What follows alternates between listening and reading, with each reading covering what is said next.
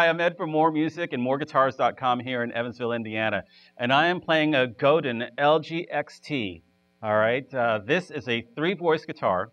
There's a lot to show you with this guitar, right? I've had one of these for 12 years, and I've gigged with it and recorded with it, and I think it's like essential equipment for anyone uh, that's been playing for a while, or you know. And here, all right, I'll show you why. Okay, so basically here, I've got a great electric guitar here. This guitar is equipped with Seymour Duncan custom custom pickups, right? They've been custom voiced for this particular instrument. And this guitar has a five-way blade switch, all right? So here it is clean, so you can hear, all right? Position one, position two, three, four, five. All right, so.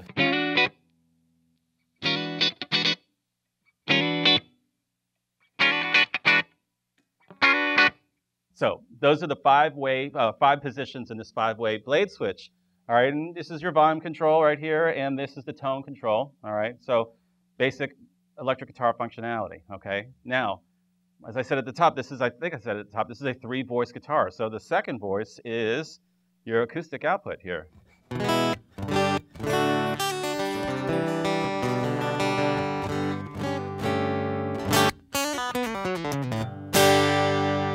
Which of course you can blend.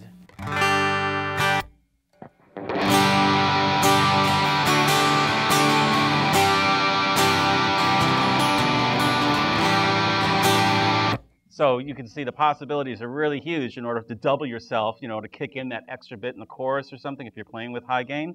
Or if you're playing clean, you can do some really cool, you know, uh, you know, it's like roll off the tone, go to the neck, and I'm blending the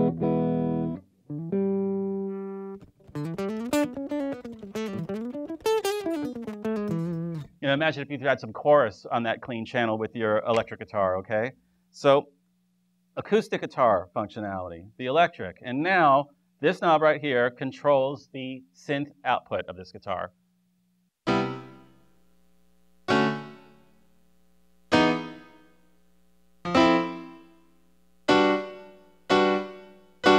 All day, okay? So this toggle right here is what controls the patches on your synth guitar. So I can go up.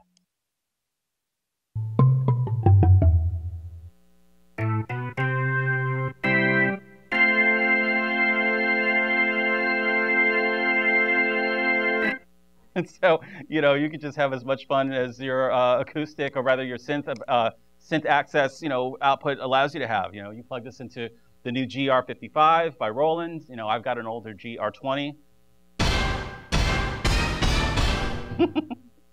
and you know, I would imagine like in you know recording, you could go all kinds of stuff. I mean, you're only limited by what you're plugging this into, but this is the interface.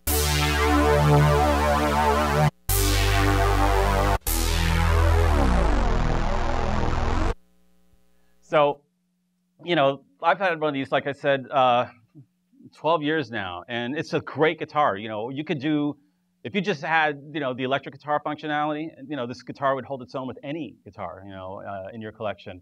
Um, but the acoustic output, that right there gives you so much. Now you don't have to bring an acoustic electric guitar to your gig. And then if you have like the functionality I showed before, now you're introducing a completely different element. Your role as a, as a guitar player, you know, is in, in, in enhanced you know, uh, incredibly. You know, now you could you could do all kinds of cool stuff. Like, you're only limited by your imagination and what you know, whatever you know, generation Roland guitar synthesizer you're able to plug this into. So as you can see with these cables, I've got three separate cables. All right, this one right here is going into a DI. That's my acoustic guitar output. All right, and I can control the volume right here on my own.